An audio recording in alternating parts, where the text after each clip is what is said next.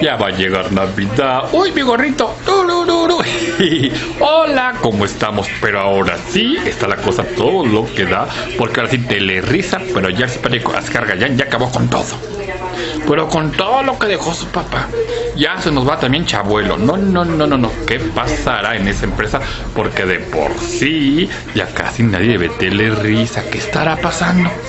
Pero lo cierto es que ahora si los niños se quedan sin su barra infantil, ya no hay nada por qué luchar en esa televisora. Aparte de la babosa y criada peruana, que ya saben cómo se llama la simpática Bozo, ¿qué va a haber más en televisión mexicana?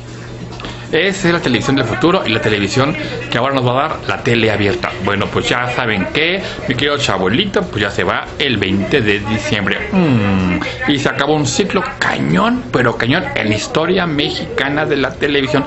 Ya se nos fue todo. Bueno, ya me voy. ¿Qué irá a pasar con Telerisa?